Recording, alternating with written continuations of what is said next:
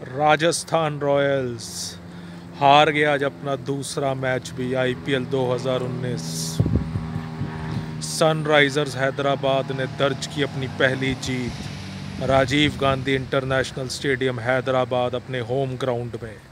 Batting first Rajasthan Royals score 198 for two पचपन बॉलों में 102 रन की नाबाद पारी खेली संजू सैमसन ने। रहाने ने भी इस बार नहीं किए। या लिए आउट होने के बहाने और सत्तर रन की पारी खेल डाली। 199 का टारगेट फिर चले डेविड वार्नर। सैंतीस बॉले 69 runs Rashid Khan man of the match बने। एक विकेट ली, सिर्फ़ 20 रन दिए और 15 रन की नाबाद पारी खेली आठ गेंदों में। इवेंचुअली 19 ओवरों में ही मैच जीत गए। एक ओवर अभी बाकी था। Not to forget is Vijay superstar Shankar ji. हाँ मैं उन्हें सुपरस्टार कहता हूँ। पंद्रह बॉलों में पैंतीस रन। ये लड़का धमाल मचाएगा वर्ल्ड कप 2019 में। इस बात को लिख लो।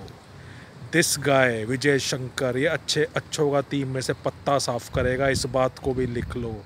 तूफ़ान बन के आया ये, तूफ़ान। अब्रॉड में तो चल ही रहा था। आईपीएल में भी ठोक रहा है। टी ट्वेंटी हो, हर जगह ये लड़का छाया हुआ छाया। वनडे टी ट्वेंटी हर फॉर्मेट में, इसको टेस्ट में भी चांस मिला तो वहाँ भी रगड़ देगा अपनी बल्लेबाजी के दम पे। बॉलर उतने खास नहीं है बट काम चला हुआ ऑलराउंडर हैं और एक बेहतरीन टू डाउन पे आने वाले बैट्समैन हैं। सो एस आर एच ने अपना खाता खोला। राजस्थान रॉयल।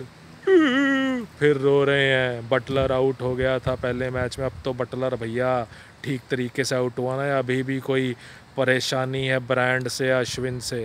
हो तो बता देना भैया आईपीएल 2019 का इकलौता सूत्रधार हूँ हर आपकी मन में जो डाउट हो क्लियर कर दूँगा, मेरी गारंटी अब सैटरडे और संडे के धमाल के लिए रेडी हो जाइए।